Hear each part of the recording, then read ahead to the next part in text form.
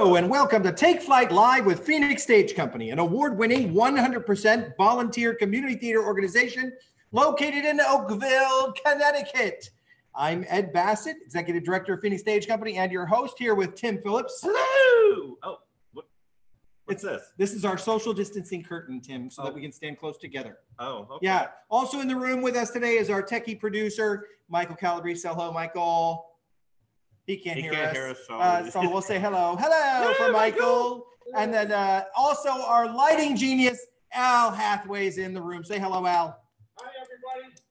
Uh, so, uh, Tim, Yeah. why are we dressed like this? Because we are going to be cooking on tonight's show or something like that. You look a little bit like the Swedish chef, Thank you, thank you very much. except you don't have that big giant mustache. Well, and, and what do you have there? I'm drinking a black hog hog lager, the sexiest pilsner since 2016. Thank you. I can never it says that. so on the can. must work. I But am- Where's where's your? You don't.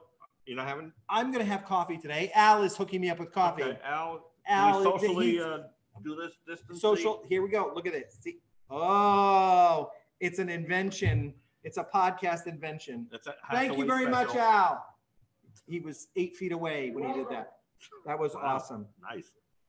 So we have a very special to the show today. We have a very special guest, Colleen Renzullo. that's right she has her own uh, cooking show on youtube cooking with colleen renzullo uh, she's a longtime phoenix volunteer and a volunteer with a lot of other uh, theater companies many of our viewers know her very well so we're really excited to have her here with us when we heard that she had this cooking show. It was really exciting, and I went and subscribed to it on YouTube, so you can as yeah, well. There'll be yeah. a link there, so you can so you can connect with her. And we just thought it'd be really fun to have her on. And I think this was a, as a result, we can ask her when she comes up, but I think this was also a result of COVID 19 that she had all this free time at home and she's been thinking about it and she started doing her own show. Yeah, we'll have to we'll find out more when we start talking to Colleen. And of course, we're going to play our game, yes. Yes, um, Jargon gymnastics. jargon gymnastics. What language are we working with today, Tim? She is very lucky that she'll be getting three words that are Yiddish.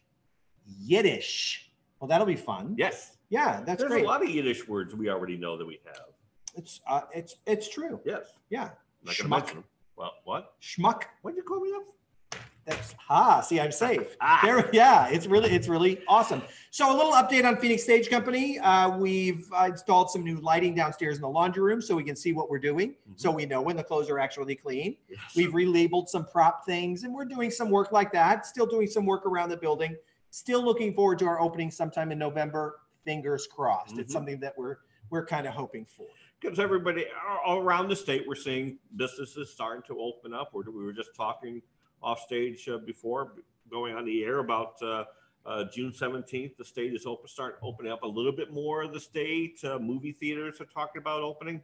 I heard a podcast today about all the changes that these movie theaters are going to have to go through and live theater is going to have to be the same way. We're going to have to make some changes. We sure will. it's going to be it, when you come see the show finally when you come see a show oh, it'll be a little different here but it's still going to be phoenix stage It'll still be great theater, though. yes absolutely We're, we're looking very forward to opening again. Mhm. So, uh, with without further ado, we're going to get this going. So I need to come over here because I'm doing I'm, I'm doing some techie here. stuff for Michael too. I'm Ah. I have to make sure I do this right, Michael. I, have to i got all turn my up stuff Turn up my volume and i got my and, stuff and then we have to do this. So hold. We're going to Okay. get here. Okay.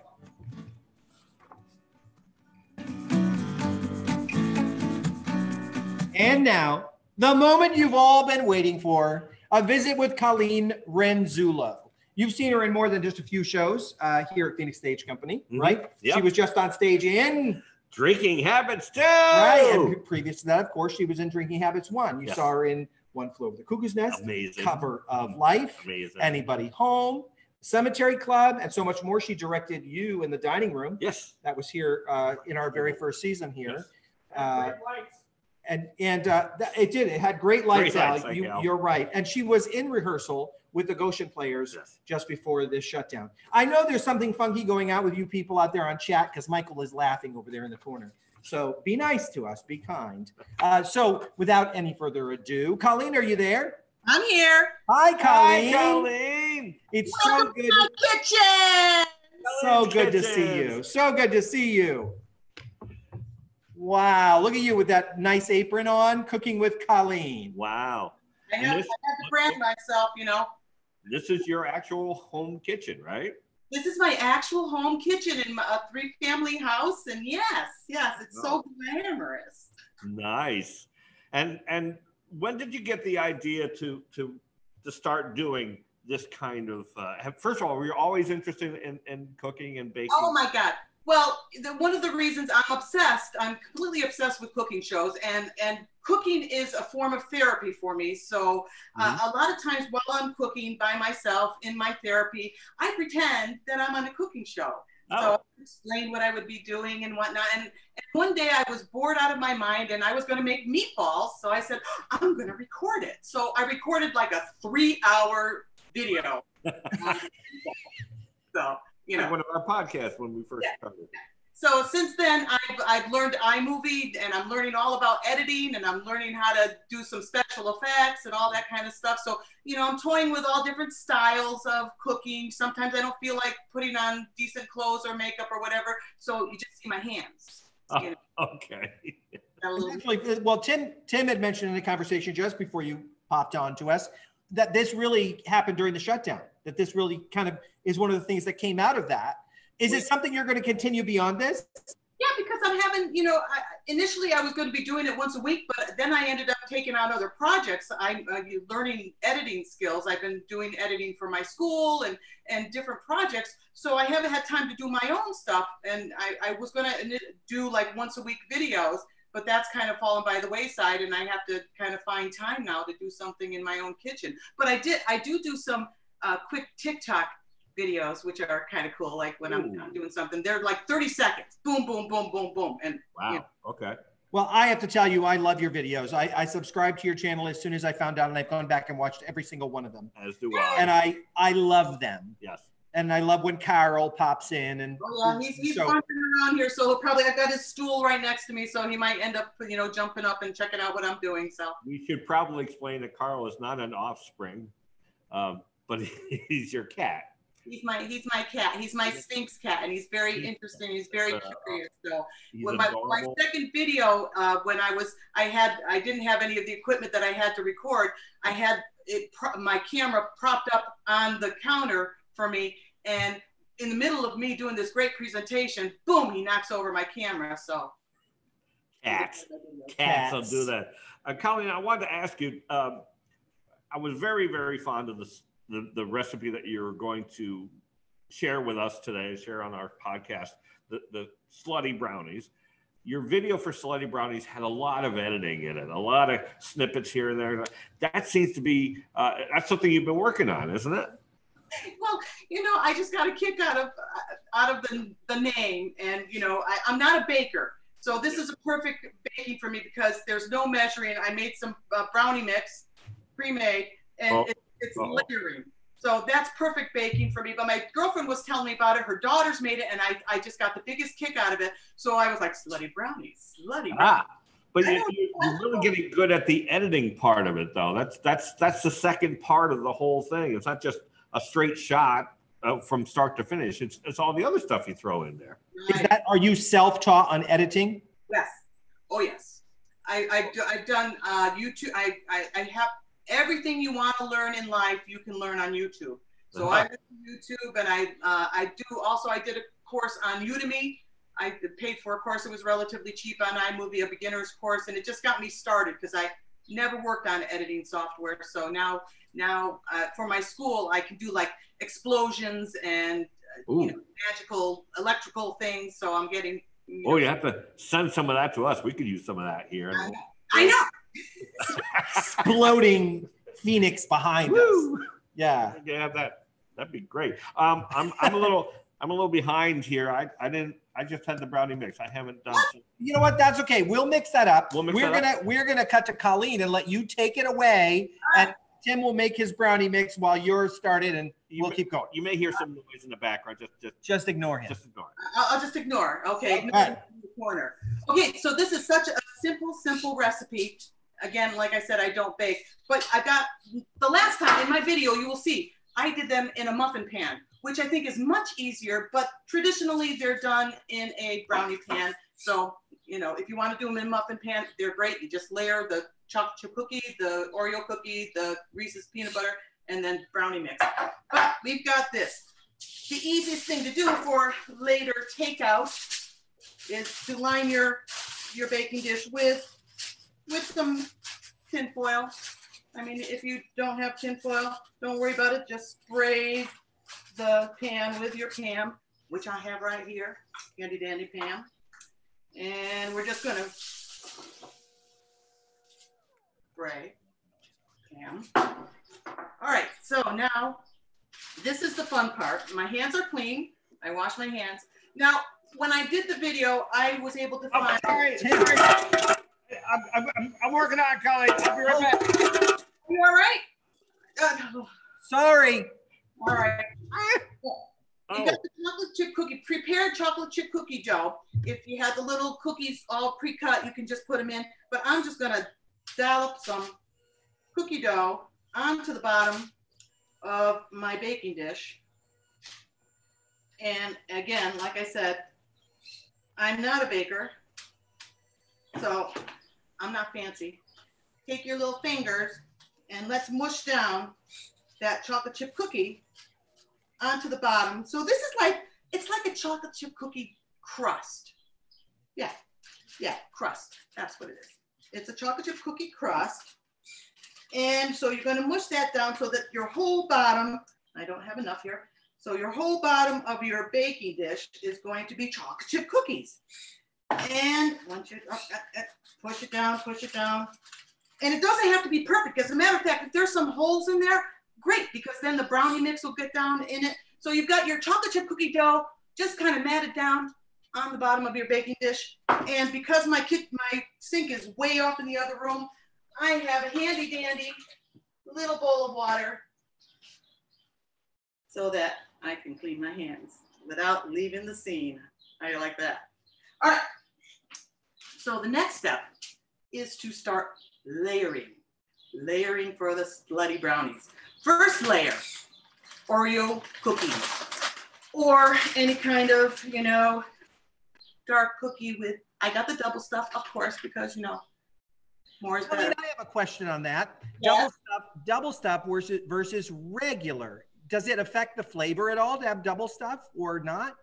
I I think it's just more of good things, and I like the filling on a on an Oreo cookie, so that just it gives uh, more filling. So I don't think it changes the taste at all. It might be a little little bit more decadent, and you know, decadence.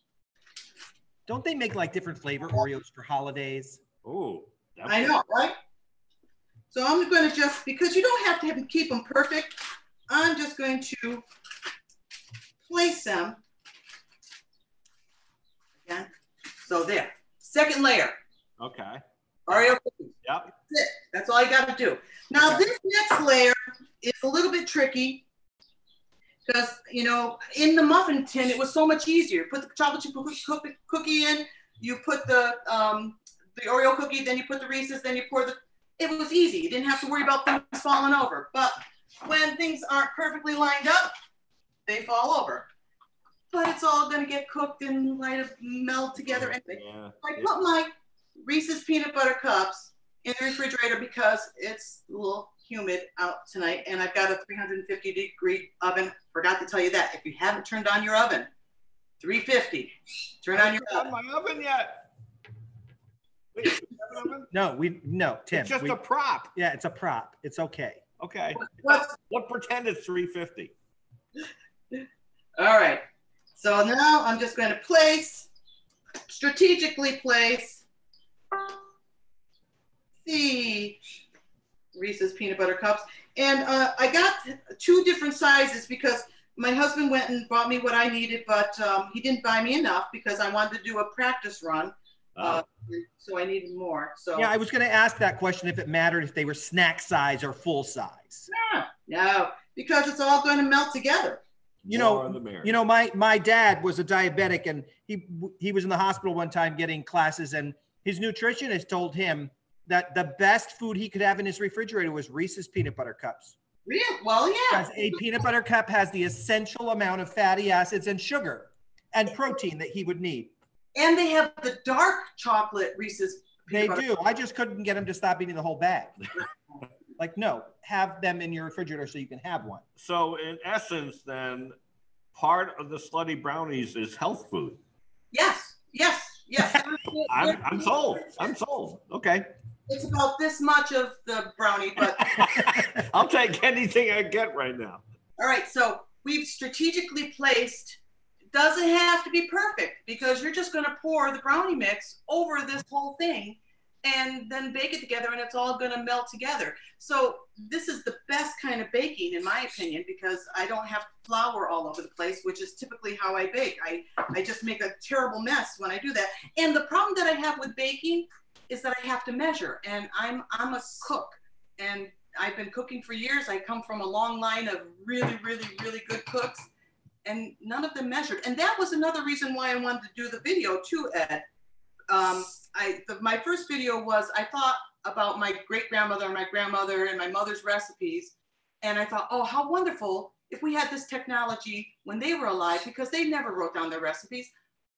So if they recorded it, I would have recorded their recipes and I would have it for posterity. Now I'm just trying to figure out what they put in their their recipes and you know sometimes I get it and sometimes I don't. So this way here someday when maybe my daughter takes an interest in in cooking, which she's not very interested in right now, maybe she'll be interested in cooking one of my recipes. So that's one of the other reasons why I, I do the video. All right. So I've got my handy dandy little a measuring cup that has a little spout on it. So this makes for easy pouring. My other one, I did it in a bowl and it wasn't so easy to pour it in. So you're going to take your prepared brownie mix and just pour it over the top. Get it around the edges first. So I'm going around the outside first, then the inside. And it's all, when it bakes, it's all going to puff up and take up all the room. It's, you know, it's almost like uh, peanut butter lava cakes in some parts of it. So we're gonna put all that, oh, you know what? I'm gonna get a spatula, oh, my spatula's right here. Because you have to get every little bit of the goodness that's in this bowl. And this was, you know, for a while there, it was difficult to find uh, brownie mix or cake mix or flour. You know, with everybody was uh, buying up all these weird things. So I, when I first made it, the recipe that I made on my video, it was some kind of like health food kind of brownie. So it came out a little dry. So I'm really looking forward to this brownie mix because it's dark chocolate. It's a dark chocolate brownie mix. And I thought I could be even more decadent and put chocolate chips in brownie mix, but I said no. I mean, as it is, they're going to hitch us up to insulin as it is. But So we got- espresso, espresso chips are my favorite. oh, that oh, oh, now you've given me an idea. Espresso chips with peanut butter and chocolate and Oreo cookies. Oh my goodness. I think that might be the next one. Where do you find yours? Uh, Lori Poulin's kitchen. Ah, I've never actually, I've never actually bought any myself, but Lori Poulin has them in her kitchen, so I just eat them there. all right. So I'm gonna have to ask Lori where she gets her uh, her. All right. So we have poured it over. Let's see. No, Oh. Mm. you can still see the the peanut butter cups, but like I said, when you cook it, it's all going to puff up. And the one thing that I can tell you with with this kind of recipe, especially with the warm weather like this, I the recipe calls for like if you're gonna gonna make regular brownies, it's like 35 minutes for a nine by nine pan. Mm, not with these. So I did them about 45 minutes, took it out, still didn't really like how done I thought they were. So I put them in for another 10 minutes. So between 45 minutes to an hour when you have this size pan and all the gooey stuff that you have inside. So I'm gonna, this is ready for the oven. I mean, how simple is that? It's really awesome. You know, when I made some this morning and uh, I had a hard time, you know, how you stick a toothpick in the middle. I didn't have any toothpicks, so I was sticking a fork in. I kept hitting a peanut butter cup. So it was gooey when it came out regardless. So I just had to kind of guess by the feel of the top. Yeah. And yeah, but they were pretty awesome. They were Yeah. pretty awesome. So did uh, Tim finish making his brownie mix yet? Uh, well, we've run uh, into uh, some, as you can see, we've run uh, into some problems uh, with Tim. He's get hired. Yeah. Oh, he tried to lick the things. He didn't take them off. uh, uh, You have to take them. What? Push this. Ah! Go- So it's okay. I made a batch earlier, so we don't have to depend on Tim's mess. But it's okay. These, these babies are ready to go in the oven. So I'm going to put these in the oven. You pop those in the oven and then come back to us, and we have a game to play. Oh, all right. Yeah, we have a great game to play. Um, Tim, are you okay with playing? My brownies yet? Go I ahead. can in my mess. I There- play in my mess all the time. Th- Look, there's a. Oh, oh, oh, Yeah. okay. You take that. Okay. Wow. Are we going to look at the finished product or are we going to play the game first? Let's Oh. play the game, and then we'll go to the finished product. All right. Yeah. Okay. So come around your corner there. We saw Carl kind of sneaking around in the back there a little He bit. does. He kind of. Yeah. Boy, I got it all over everything, didn't I? Yeah. You're you're wearing most of the chocolate, I think, Tim. Well, I'll just save the apron for later tonight. It's a little bit of a mess. Colleen, we have some suggestions of other chocolate chips coming up in the chat. Um, peanut butter chips, white chocolate chips. So a lot of uh, other suggestions. Ooh, going peanut on butter here. chips with peanut butter cups. That's some Ooh, major that's protein peanut butter. Yes. See, then that would be the real healthy slutty brownie. Right. That's the really healthy ones. But you know, when they come out, because they come out like a lava cake, you gotta. I, I'm thinking there's two ways to, to eat these brownies. There's warm right out of the oven, where you put it in a bowl and it kind of oozes. Then you get some vanilla ice cream. You throw some vanilla ice cream on top. Oh my god! Or what I did because it's so warm out today, I put it in the refrigerator. So God only knows whether I'll be able to hack into it when when I take it out of the refrigerator. Maybe I should take it out of the refrigerator now. You can always zap it a little bit with the microwave too. That'll remelt some things, Or right? a chainsaw would I'm probably. just, I'm just gonna take it out of the refrigerator real quick. Okay, Okay, you take you that do that. Uh, out. And while she's doing that, we're going to introduce our game. Don't throw any more chocolate around. It's okay. All right. So, so this game is called Jargon Gymnastics. Stretch your mind And your tongue. and your tongue. Yeah. So you're playing, Colleen, for yourself and a subscriber that you don't know yet. All right. So Tim has worked very, very hard. You have chocolate all over your face. And so Okay. he is uh he's going to give you the words and some choices uh, for definitions. Tim, are you ready? Yes, as, as we mentioned, your uh, language, if you will, is Yiddish, Okay. which we talked about. There's a lot of Yiddish words in in our everyday vocabulary. These three probably not so much. So what we're going to do is we'll give you the word, and then three possible dis, uh, definitions. Get two out of three right, you win the prize, including including Ooh, we're not supposed to tell him. Okay. Yeah, a prize. a prize. Okay, so here's your first word Nebish. N E B I S H. Is it one, when you're hungry, but not for a full meal, just a little bit hungry, you know, really craving something salty? Is it two, a small semi sweet fruit found only in Levittown? Or number three, the term used for a person of no major importance, nobody special. That's one word I've never, I- that's a Yiddish word I've never heard. So I'm going to go with a, a person of no importance, number three. Ding, ding, ding. That's correct. That is A person, right. a man of no importance. That's right. I'm a nebbish. You- You're a pretty It was a good excellent. show. All right, now this second word, if you remember your 70s pretty well, you might remember this word. Schlemazel. Shamizel, Hassan We're gonna do it. Now, is a schlemazel A, a term for a brewmaster specializing in pilsners? B, a clumsy person, especially around pretty ladies? Or three. Or three, an in- invention never patented that dispenses water that's eh, not too hot, not too cold. I, I, I'm going to go with two. Wow, Colleen, that is two in a Two row. for two. It is Good a for clumsy. you. I kind of made up the, the pretty lady part, but it is basically a clumsy person. Okay. Well, Not klutz. I get- klutz is, is a klutz Yiddish? Klutz is Yiddish too. Yes, absolutely.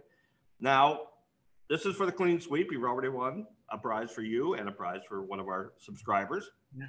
Schicker. S H I K K E R. I hope I'm saying that right. It is is number one, the Yiddish term for a, a Jew who prefers to remain beardless. Is it number two, the Yiddish term for a drunkard, Jew or otherwise? Or is it number three, the Yiddish term for blowing off a blind date after seeing her at the bar? Ooh, ooh, ooh. Oh no. Okay, I'm gonna go with two. Wow. Three for three. Three for three, Colleen. Wow! Congratulations. That's It is amazing. indeed a term for a Jewish term for. None of those terms were on the amazing Mrs. Maisel, so I am shocked. Well, Yeah. to see, that's just as well. Then that we really worked your brain today. It's true. So- It's true. Colleen, you have to pick a number between two and fifteen. Okay. 13. Number 13. So you and Dana Willie have won a custom Take Flight with Phoenix Stage Company COVID mask I could have used that. And- a Theater Strong bracelet. Our mm-hmm. new bracelets, Phoenix Stage Company Theater Strong. I love it. So we'll get those to you and to Dana. Thanks for playing Jargon Gymnastics. You didn't remember the name of your own Remember the name game. Of the world. Oh, That's golly. crazy. So, Colleen, let's see your finished product now. All right. I'll get mine. You get, or is, and I'll just. Back to, we'll go back to the kitchen view. We'll go to back to the Okay. kitchen chair. All right. You're so All right. versatile. Oh, I love it. Look at my big brownies. You know, some people like their people with have big brownies. Here we gotta see. We gotta see if Carl. Carl's making an appearance. Hello, Carl. Usually he's usually right here watching me when I do it. So this is I kept the tin foil on. But here we go. Let's compare. Oh, you cut yours. See, I didn't cut mine. yeah. I did. See, I this is cut where them. exploded. This is where I got the little bit of the lava cake thing. So I'm really, yeah. I wonder if I could cut into it. Hold on, let me go get a knife. Yeah, they, they came out. We've been chomping at the bit to They're try quite these. thick and gooey. You can see the cake, the cookie on the bottom, and you can see a little bit of the peanut butter cup in there. It's pretty amazing. Now, Colleen, I wanted to ask you, uh, like your your meatballs. That was a family recipe, right? No, um, that's it was it's every time I make meatballs, I make them a little bit different, but they're my re- it's my recipe. That's your own personal recipe. It's my own personal recipe. Where do you get most of your recipes from? Are they just things that you've heard, or people tell you this would be a good thing to make, or No, I like and I what I do is uh, I, I'm obsessed with like cooking shows, cookbooks, and online recipes. So I I read and read and read, and I find the things that I personally like the best, uh huh? And that's what I make. And through trial and error, I found I typically like my meatballs more pork with more pork than more beef. Right? Yeah. Uh, but I've made them with all three. But I, I like the way pork tastes, so that's the way my my. Uh, So, so two questions. And be careful. I don't want you distracted with your giant knife there while you're doing this. over to the spatula. Okay. uh, what recipes we, might we be seeing in the future? Well, I'm thinking because it's summertime. I Uh-huh. I just did my uh, deviled eggs one Oh yes. Okay. because that's a pretty popular uh, recipe. When I you know when I come to a cast party, and people that like the my version of the deviled eggs, they go so quickly. So I just did deviled eggs. Yep. Thinking I'll do like you know a, a mac- my my macaroni salad. I mean traditional recipes. Summertime stuff. Yeah. you know and um, there is also one recipe that is really really close to my heart and it, i've never seen anybody and a recipe like it. It was my great grandmother's um, christmas eve nut sauce. And from what i understand you know it, it was a the christmas eve it was the seven fishes and whatnot. But i also learned through my brother that they didn't do a red sauce. So that's why we had this nut sauce. And it was hazelnuts and walnuts two to one ratio just kind of cooked down for the whole day, served over vermicelli pasta. Huh. Served with olives too. So I use a variety of olives with the pits in them because that holds the, the flavor. But it's so unique and it's a love hate kind of recipe. But uh, me and my brother, we all love it. It's traditional, and people that have tried it either love it or hate it.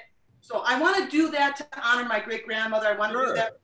but I haven't perfected it because when she made it, she made it for like a hundred people. I mean, we had family that came in, so she made a vat of it. Well, let me ask you: Did, did she have a recipe, or did she just make it from heart all the time? I have from heart, yeah. Oh, yeah. Back in the day where she had to crack all the walnuts and all the hazelnuts by hand. Wow. They didn't. I mean, now I just go into the store and here you can buy them in bulk. You know, all Right. Yeah. You know, those family recipes are just tricky. I had been, I've been trying for years and years and years to recreate my mom's red sauce, her spaghetti sauce, right? Gravy. And I could never get it quite right. And I was having coffee with my sister and she said, Are you remembering the salt pork? I said, Salt pork? What? She said she rendered salt pork first and then she put the tomato paste in. And then she, so I last week did that.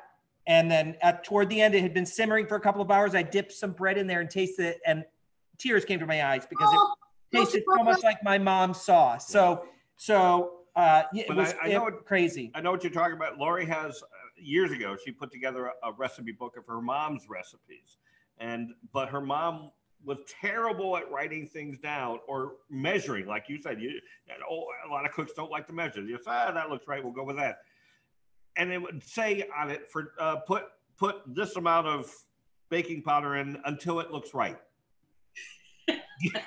and you don't know. So I mean, uh, it, it's wonderful those traditions are passed down, and that you can do this. I mean, Michael was drooling over your. your I'll nut be in line for your nut sauce. Yes, there you Do go. I- I'll be watching that one because that sounds amazing, especially with the olives in there. Yeah. I'll be all over it. And there's a variety of olives, and you know something as kids we never knew what was in it. She starts out with olive oil. We've added garlic to it. I don't know whether she did garlic, but you take the anchovies and you kind of let them dissolve in the oil, and then you add the olives. Then you add hot water, and you let just let it cook down, cook down, cook down, cook down for the day until it kind of changes into a nice rich uh, color because it's not very pretty, you know, because it's like a brownish gray. But Most of my favorite f- foods are brown, so it's okay. Well, Uh, Colleen, Colleen, I, uh, I do have another question yeah. for you. Colleen, oh, look at that. Oh, that look at the looks- gooey cookies. Oh, that, that came out perfect. Oh, that looks Perfect. amazing. See, all of my all of my cookie goo melted and got cooked into everything else, I think. Yeah. Yeah, that looks amazing. Now, the, the, the other question, I think, Colleen, we might have mentioned this before, or I think I, I commented on one of your things. When are you going to get to the point where you have a studio audience with you for your recording? We can't wait to have a studio yes, audience. for one of these special recipes. and I'll volunteer to sit there while you're making nut sauce. And, and well, I have to tell you, well, that's an all-day thing. But I'll that's sit there all day. I'll bring the wine. But that's why I don't cook live on Facebook because a lot of I see a lot of women on you know doing their cooking shows and they go live and I'm like, oh no no no no. no. I mean, you could still have an audience and not be live. Yeah, that's true. That's true. Sure. We can laugh at all Put your it in your theater, you know, we put out a little. We got to get a little kitchen over in the corner, Yes, Hey, we'll take care of it. Yes. and then we can film it, and then we could be, you know, we'll do the three cameras. It'll be like Lucille Ball. Yeah, That, that, that's absolutely right. So, Colleen, listen. Uh, now, now some theater questions. You were in rehearsal uh, with Goshen players before this all happened, right? For Lost in Yonkers, uh, one of my favorite shows of all time. Uh, and you were playing the grandmother, one of my favorite go. roles of all time to see on stage. That is Yes. an actor's role. Uh, is there a favorite role that you've played on stage yet? Is there? Um, I have two. Um, Yeah. My favorite one for comedy was Maria Morelli in Lend Me a Tenor. Uh huh. loved playing her. I loved it because she came on, she was a force of nature, and then she left for most of the show. Then she came back. It was awesome. Yeah. So that was I had so much fun doing Maria Morelli. Um, and the other one was, of course, it was a dream role. Was the Nurse Ratched? I've always wanted to play Nurse Ratched. Yeah, yeah. I, it was, a great show. scary. It was like watching you in in um, the other one, uh, Firefly. Fireflies. Thank you. I- Like up there. Yeah, yeah, you creepy. You do so many comedic roles over the years, and we've done several shows together. We've been husband and wife three times at least. Um, but seeing you do a dramatic role like that, in which you were really chewing a lot of scenery in that show, Uh-huh. and you were nasty. You were downright nasty, and that had to be that had to be a, a wonderful departure for you. Well, you know, I, I I prefer I you know I really enjoy dramas. I and a lot of people don't do them. I, I love directing dramas. I like performing in dramas. I like shows that make you a little uncomfortable. Mhm. So you know, so it, it- it was something I've always wanted to do. I I loved the actress that played it in um in uh, with Jack Nicholson and whatnot. Uh, She, oh yeah. There's right. I'm, tr- but it was I'm trying escaping- not. the name escapes me right now too. I You got didn't the Oscar for it. want to do her, but I, I also know that she, I read the book, you know, to try to get a better understanding of her, to see if she had, if she was sympathetic at all, you know. So, I mean, it, it was, it, yeah, she was a, an, an interesting character to play. Mhm. Well, you were brilliant. Uh, bucket list role. Well, Nurse Ratched was one of them. Um, you know, I really, I directed it, and I really would like to play someday Sister Aloysius. In Oh, doubt. in doubt. Yeah. Yes. Yeah. Absolutely. Yeah. That's Yeah. great. You know, there, there's a show that I would love to see you in. Uh oh. Agnes of God. Whoa. You know the show? yes. Yeah. Yeah. As Mother Superior? Mother Superior is one of those roles. Mhm. Yeah. Yeah. Yeah. Great show. Great show. What is it about you and a, and a habit? I know. so part my character, you know. Well, you know what? There's one habit that she has that we absolutely love, and that's cooking. Eh, oh, nice segue. Oh, that was good. Cooking with Colleen Renzullo. Make sure that you subscribe to her YouTube channel. There's a link that you can follow to that down below the screen. Please subscribe to her channel. Watch everything she does. The It's food is great. She's beautiful. You get to see Carl. Yeah. Ah, And maybe Gordy. Every once in a while you get to see Gordy, but usually you hear Gordy in the other room screaming because he's a bird and he just doesn't like Okay. it. Yeah, I'm, I'm, not glad, a I'm glad that you that you clarified it's a bird and not a child locked in the other room. It's a bird. So so Colleen, thank you so much for being here with us tonight, for sharing your slutty brownie recipe with the world. We're gonna. We're going to be enjoying our slutty brownies. Uh, we hope that everybody out there does the same thing. We've had a great time cooking with you tonight. Uh, Oh, yeah. all right. Thank you so Thank much, you Colleen. Colleen. Love Thank you. you for having me, Ed. It was so You're much welcome. fun. Mwah. We I love miss you guys. wow. Oh, that was amazing. That was amazing. We hope that you guys cooked along Yep. uh, with uh, with Colleen, and if you didn't, that you wrote it down. Really, uh, it took me this morning a very small amount of time to cook the ones that I made for us. I didn't uh, get that far. No, you didn't get that far, and uh, Michael might want to take that brownie mix home with him and cook it. Yeah. Uh, you know, it might be good for Ruthie. You know, No, I think chocolate's bad for a dog. yeah. Hey, uh, you know what? Uh, next week It's a special show. It's a special show next week. We are doing the second edition of Voices for Phoenix. So it's another collection of monologues, and it's going to be featuring featuring Dan Willie, Killian Meehan, Casey Ross, Leland Schick, Mhm. Deb Goodman, and Jonathan Ross. They're all going to be doing uh, monologues. I want to thank uh, Chris Evans and Robert Schnofsky for coordinating that, and of course our techie producer Michael Calabrese, who's always stepping up and taking care of that stuff. A complete list of the monologues will be listed on our Facebook page coming soon. We have a week to do it, so we'll put them up there for you, and we'll we'll uh, make sure that you know what's going on. Uh, so Mhm. you can remember to subscribe to our channel. That's very important. Yeah, he's he's chewing, so I'll say this: you can subscribe to our channel also, uh, and, And you if- can donate to Phoenix Stage Company at any time. There's a link below your screen, uh, and anybody who donates gets one of our Theater Strong bracelets, which is one of our new our new programs. back up a little bit. If you subscribe to our uh, our podcast on i on um, YouTube. YouTube, thank you. Um, so you can subscribe anonymously, anonymously, but if you subscribe with your name, you could be a contest winner in future episodes. And I'm sure that's somewhere in the settings of YouTube that you can subscribe anonymously or let people see your name. Mhm. If we see your name, then you can win prizes from our participants who come and play uh, jargon gymnastics with us. Yes. So uh, we need to thank our sponsors, but I need to we do, this first. So uh, we need to thank our sponsors for today. Tim, who's our first sponsor? As always, thank you so much to Black Hog Brewery. Brewing, Brewing Company. I keep getting that wrong. I'll get it right someday. We love Black Hog. We miss them terribly. We can't wait to get back to them. They're in Oxford, Connecticut. You can still get beer from them. You can. You can get it uh, by ordering it online or actually driving up and they will deliver. But fingers crossed, hopefully the tasting room will be open. I'm, I'm hoping in this next round, on the I so, 17th of June, the next round opens, Yeah, and they might be able to open their tasting room up a little bit. that would be wonderful. It would be, it'd be nice to be able to go there. We also need, need to thank Deb Cryan and Sierra Ridge Media Arts. They are a full Deb. service production house. Thank you, Deb, for everything you do for us. Things like this sign back here, divided in half by a shower curtain right now, but Yep. uh, we, we really love our Deb. So thank you very much for everything you do.